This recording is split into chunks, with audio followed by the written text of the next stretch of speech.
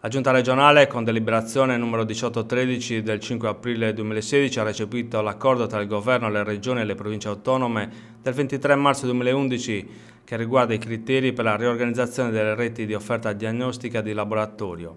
Questo prevede che per il rilascio e la conferma dell'accreditamento dei laboratori debba essere garantita la soglia minima di attività di 200.000 esami di laboratorio all'anno. Sulla questione interviene Daniela Forma, consigliere regionale del PD, che in una nota manifesta la propria preoccupazione che insieme ad altri consiglieri regionali del suo partito ha depositato una interrogazione. Il nuovo modello organizzativo, sottolinea l'esponente del PD, risulta assolutamente fuori misura rispetto all'attività attualmente svolta dai nostri laboratori accreditati e rischia di compromettere l'intero sistema. Secondo la forma, l'obiettivo della giunta regionale sarebbe quello di obbligare i laboratori ad aggregarsi e organizzarsi in rete costituendo nuovi soggetti giuridici,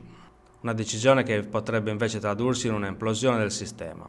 Da qui la presentazione delle interrogazioni in cui i consiglieri di maggioranza chiedono tra l'altro se prima di adottare la deliberazione la Giunta abbia fatto una ricognizione puntuale dei laboratori privati attualmente accreditati e del numero di prestazioni annue da loro effettuate, questo al fine di comprendere quali ricadute derivassero dal recepimento dell'accordo nazionale.